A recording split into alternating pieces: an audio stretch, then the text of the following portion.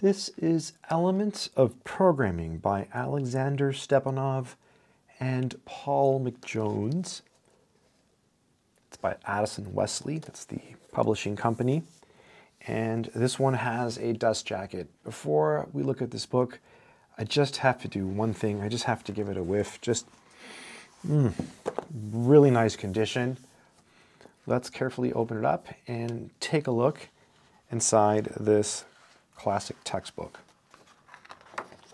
Now let's read what it says here. Elements of Programming provides a different understanding of programming than is presented elsewhere.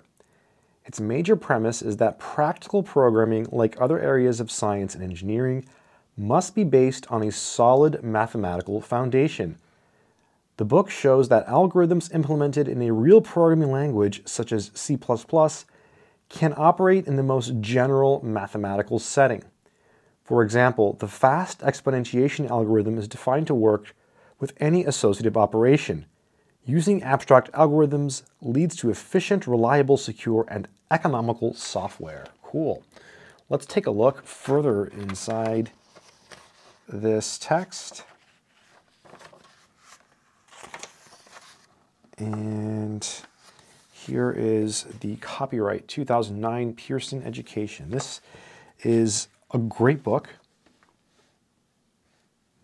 Foundations, transformations and their orbits, associative operations, linear orderings, ordered algebraic structures, iterators, coordinate structures, coordinates with mutable successors, copying, rearrangements. And then we have partition and merging and composite objects. There's an afterword and some appendices, a bibliography, and an index. And it has a preface. And then here is where it starts, foundations.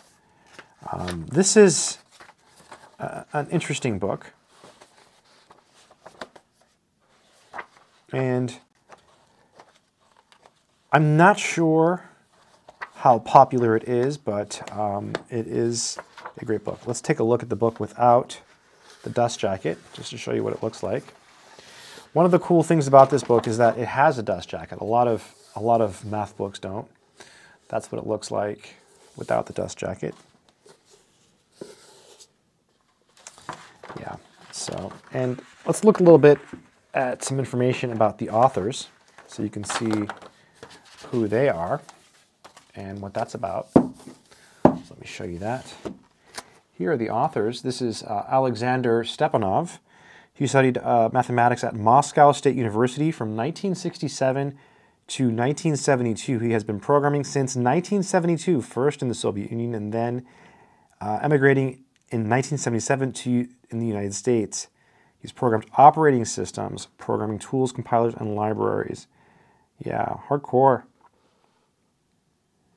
And then Paul McJones studied engineering at Berkeley uh, from 67 to 71. He's been programming since 1967. Wow.